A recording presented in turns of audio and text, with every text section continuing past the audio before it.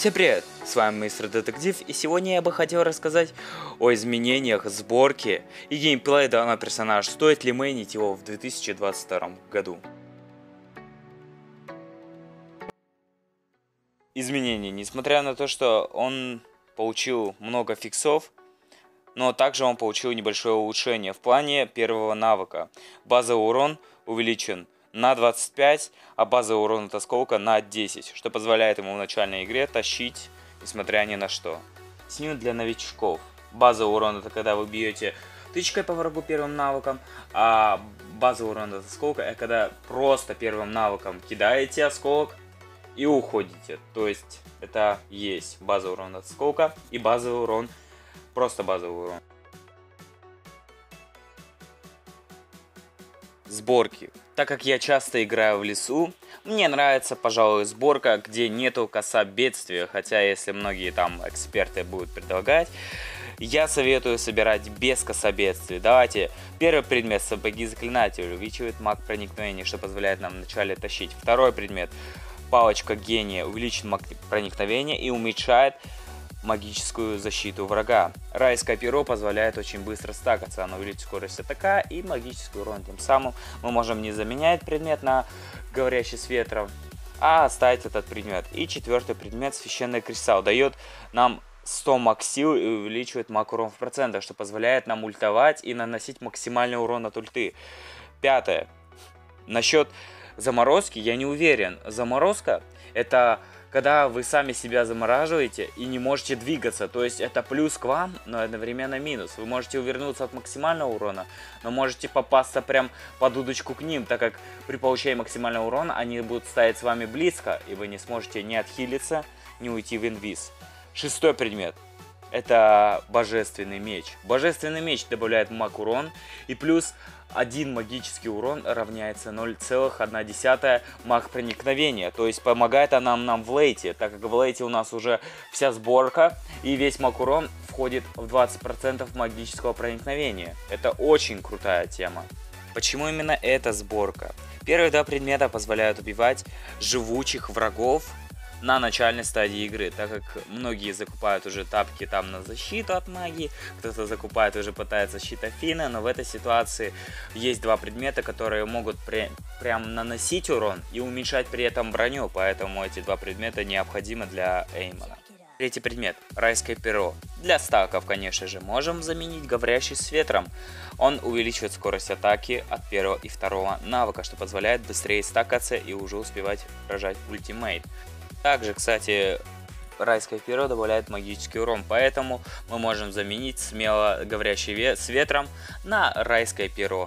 Священный кристалл, четвертый предмет, который нужен незаменим прям для Эймона, увеличивает урон от первого и второго навыка, а также от ульты. Так как ульта это важная часть для Эймона, нам необходим священный кристалл. Пятый предмет – заморозка для неполучения максимального урона, как я уже говорил. Но в этой ситуации мы можем заменить на бессмертие, так как бессмертие нам поможет очень сильно. Но в этой ситуации, если вы опытный игрок, берете заморозку, если вы неопытный, берете бессмертие. Бессмертие – это предмет защиты, который позволяет вам защищаться от врагов. При этом, когда вы умрете, вы получите щит и ману, то есть вы прожмете второй навык и получите навык маскировка. Это предмет Божественный меч добавляет маг проникновения, как я уже говорил, и он необходим в лейте. Ну, до лейта, конечно же, мы доживать не будем, поэтому доминируем в начале игры и покупаем этот предмет с удовольствием.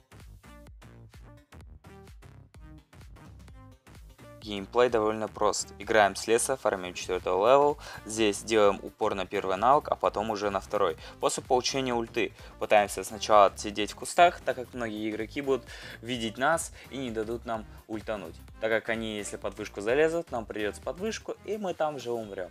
В этой ситуации мы просто сидим в кустах, ждем, пока враг приблизится к нам близко, затем начинаем немножко стакаться, ультуем и добиваем врага. Начинаем убивать врага, если он ближе к линии черепахи.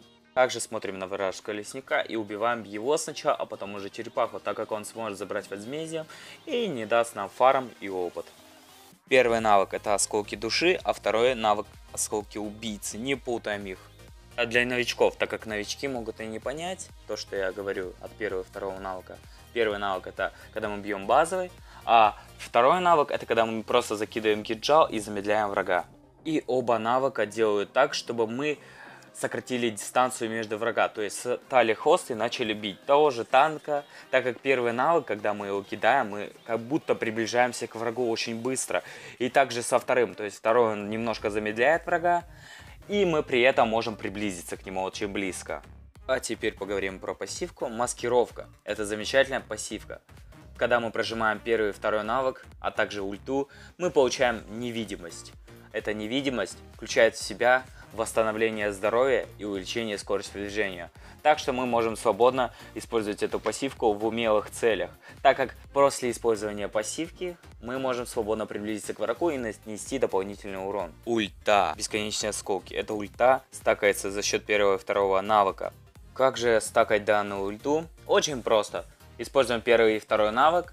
Первым мы бьем базом, когда над головой Эймона 5 осколков, и они наполняются, эта шкала 5 осколков, он их сбрасывает. Так как у первого навыка есть тоже осколок, он получает 6 осколков. И у второго навыка тоже 6 осколков. И возникает еще один вопрос. Где можно увидеть, сколько осколков ты набрал? Ответ прост.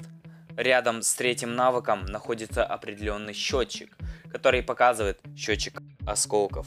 Ульта варьирует урон в зависимости, использует ли враг рывок или нет. А вспышка, кстати, не считается как рывок, поэтому рывок Тигрила, допустим, когда мы делаем ульту, эти осколки приподнимаются наверх, то есть варьируют от самого начального урона, то есть до. А когда рывок не использует никто, то есть противников, то вы можете легко этим воспользоваться и прожать ультимейт и нанести максимальный урон максимальный урон в лейте вы можете нанести от 6288 и до 10392 урона. То есть это такие неплохие показатели, конечно же. А вот самый главный вопрос, как контрить щит Афины. Многие задаются вопросом, щит Афины не контрится никак. Даже если Эймон прожмет ультимейт, там нанесется-то от силы всего 30% урона. И Эймон, ну как бы уже станет бесполезным. Ну ответ просто. Бьем первым навыком, так как первый навык это магический, и второй навык тоже. Если мы начинаем бить врага магическим, у него активируется щит Афины, точнее активное умение щит Афины. И она после этого кончается, и после этого мы можем нажать ульту. Вот такой вот способ. Ну, правда, честно говоря, мы нанесем всего 80% урона, но тоже урон. Стоит ли покупать данного персонажа? Так как в игре его много фиксили, но он остался имбой, он играет от начала до середины. И если он начинает доминировать в начале и середине, то в конце тоже начинает доминировать. Поэтому, ребятушки, покупаем его за 32к и играем с удовольствием. Кстати, я решил в конце сделать маньяк, поэтому обязательно посмотрим. Поэтому с вами был Мистер Детектив и до скорых встреч. Еще увидимся.